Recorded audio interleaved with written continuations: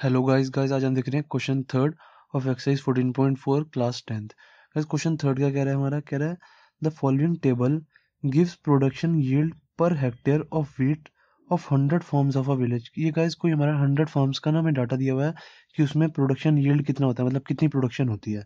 Okay ये हमें data दिया हुआ है। ये हमें नंबर ऑफ़ फॉर्म्स दिए हुए हैं। ये दिया हुआ है प्रोडक्शन यील्ड की। पचास से पचपन नंबर ऑफ़ फॉर्म्स टू हैं। Fifty five to sixty eight है नंबर ऑफ़ फॉर्म्स ऐसे हमें ये डाटा दिया हुआ है। कहने कि change the distribution to a more than type distribution अब जो हमें ये डिस्ट्रीब्यूशन दिया हुआ है ना जो हमें टेबल दिया हुआ है, कह रहे हैं इस टेबल को ना मोर देन टाइप डिस्ट्रीब्यूशन में चेंज करो। इससे पहले वाले क्वेश्चन तक क्या होता था? फ़र्स्ट और सेकंड क्वेश्चन में कि हमें लेस देन टाइप बोल होता था। तो हम लेस देन क्या करते थे? Less than fifty five less than sixty upper limits लेते थे।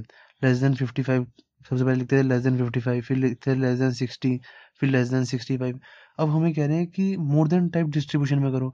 मोर देन हमेशा क्या लेते हैं? Lower limits more than fifty more than fifty five more than sixty ऐसे लिखेंगे, ठीक है? लोअर लिमिट्स आ जाती है मोर देन में। तो अब बनाते हैं इन सबका मोर देन टाइप डाटा सबसे पहले यहाँ पे लिखेंगे प्रोडक्शन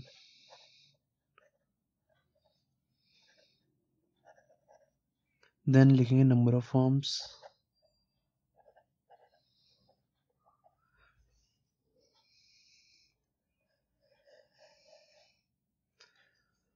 more than type में क्या लिखेंगे सबसे पहले? More than fifty more than में हमेशा हम क्या लिखते हैं गाइस जैसे हम लेस देन में लिखते हैं less than fifty five less than sixty less than sixty five ऐसे अपर लिमिट्स लिखते हैं।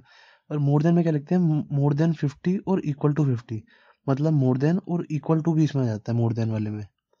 ओके तो यहाँ पे लिखेंगे मोर मोर देन और equal to fifty okay lower limits लेनी है हमें। फिर लिखेंगे मोर देन और equal to fifty five more than और इक्वल टू फिफ्टी फाइव और equal to fifty five then more than और equal to sixty then sixty five then seventy then seventy five okay यहाँ पे more than और equal to आएगा। More than और equal to more than और equal to यहाँ बार बार ऐसे आप नीचे लिखते जाओ मोर देन और इक्वल टू ओके बस ये मोर देन टाइप डिस्ट्रीब्यूशन में हम हमेशा इक्वल टू ज़रूर लिखते हैं। ये याद रखना इक्वल टू इक्वल टू तो हमारे यहाँ आ गया प्रोडक्शन ईयरली यहाँ पे नंबर ऑफ़ फॉर्म्स ऐसे कैसे लिख देंगे। Two eight twelve twenty four thirty eight और सिक्सटीन अब गाइस हमें आगे क्वेश्चन में कह रहे हैं कि and draw its ogive ogive बनाने के लिए मैंने आपको बताया था कि हमें हमेशा कम्युलेटिव फ्रीक्वेंसीज चाहिए होती हैं। तो कम्युलेटिव फ्रीक्वेंसीज कैसे निकालेंगे? मोर देन टाइप में हमेशा कम्युलेटिव फ्रीक्वेंसी डिफरेंट निकलती है, हमेशा याद रखना। मैं बताता हूँ कैसे, देखो। हम अभी तक कम्युलेटिव फ्रीक्वेंसीज कैसे निकालते थे? जैसे हमें फ्रीक्वेंसीज दी होती थी, ये हमारी एफआई दी हुई है। हम क्या लिखते थे?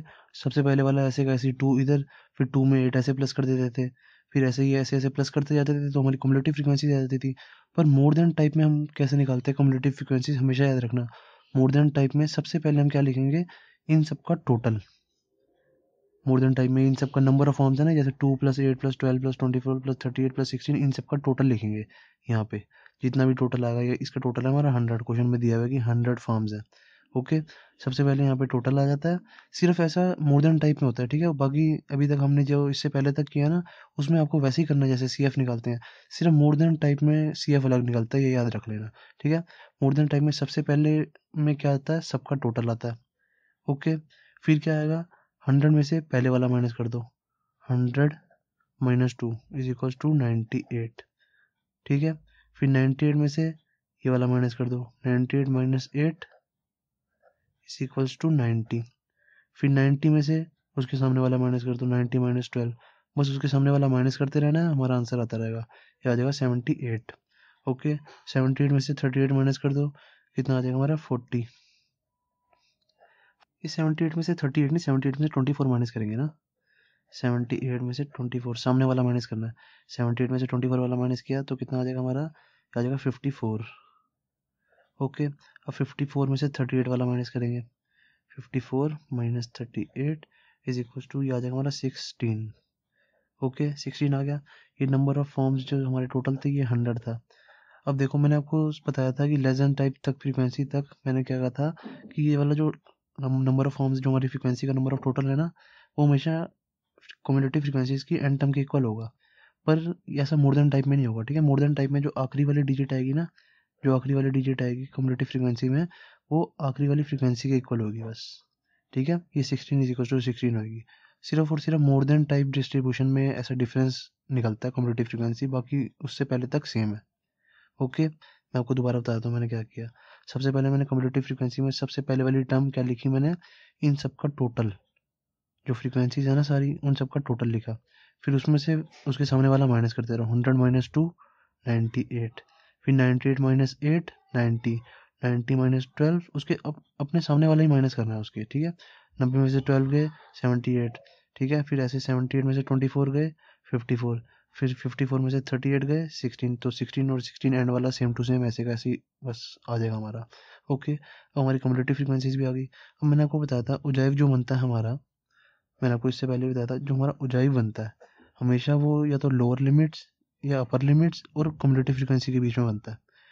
तो बना देते हैं अब हम। सबसे पहले ऐसे ग्राफ बना दिया। ये आपको सब ग्राफ पे करना है ठीक है ना? ये मैं कॉपी पे करके दिखा रहा हूँ, और ग्राफ नहीं मिलता पेपर में तो कॉपी पे कर सकते हो, वरना ग्राफ तो पक्का मिलेगा ही मिलेगा। इस साइड आता है हमारा ये अपर लिमिट्स या लोअर लिमिट्स यहाँ पे आती है हमारी अपर या लोअर लिमिट्स जो भी हमने निकाली हो, और यहाँ पे कॉमुलेटिव फ्रीक्वेंसी ओके ये होती है हमारी एक्स एक्सिस ये होती है हमारी वाई एक्सिस अब हमने यहाँ पे क्या निकाली हुई है? लोअर लिमिट्स निकाली हुई है फिफ्टी फिफ्टी फाइव सिक्सटी ये लिखा हमने। तो यहाँ पे लोअर लिमिट्स लिख दो सारी यहाँ पे। क्या क्या है? हमारी फिफ्टी फिफ्टी फाइव है।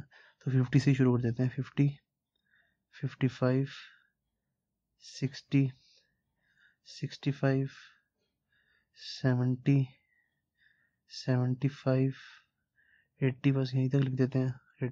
सेवेंटी फाइव के बाद तो है ही नहीं वैसे भी। अभी जो कम्युलेटिव फ्रिक्वेंसीज हैं, इसको आप चाहे टेन टेन का डिफरेंस कर लो, चाहे ट्वेंटी का डिफरेंस से लिख लो यहाँ पे, ठीक है? क्योंकि ये सिक्सटीन फिफ्टी फोर नाइन्टी ये टेन टेन के डिफरेंस कर लो, एक ही बात है, ठीक है? यहाँ पे सारे पॉइंट्स लिख लो। फिफ्टी कॉमा हंड्रेड है पहले वाला, फिर है fifty five comma ninety eight फिर है सिक्सटी कॉमा नाइन्टी देन है sixty five comma seventy eight, then है सेवेंटी कॉमा फिफ्टी फोर। ऐसे पॉइंट्स लिख लेते हैं, फिर इजी हो जाता है ना हमारा। देन है seventy five comma sixteen. Okay then अब ये पॉइंट्स यहाँ पे लिख दो। टेन टेन का डिफरेंस है तो यहाँ पे। Ten, twenty, thirty, forty, fifty, sixty, seventy eighty, कहाँ तक जा रहा है? हमारा हंड्रेड तक जा रहा है। इसको यहाँ पे नाइन्टी दे दो। एक पॉइंट और ऊपर बढ़ा लो। ये हंड्रेड हो गया। सबसे पहला पॉइंट क्या है? हमारा फिफ्टी कॉमा हंड्रेड। तो फिफ्टी ये एक्स एक्सिस वाला, पहले वाला एक्स होता है। दूसरे वाला वाई होता है हमेशा। पहले वाला जो पॉइंट होता है वो एक्स एक्सिस पे होता है। दूसरे वाला पॉइंट वो वाई एक्सिस पे होता है। तो पहले वाला पॉइंट क्या हमारा फिफ्टी ये फिफ्टी एक्स एक्सिस पे और वाई हंड्रेड है। तो ये वाई वाई ऊपर चले जाओ। ये आ जाएगा हमारा fifty comma hundred.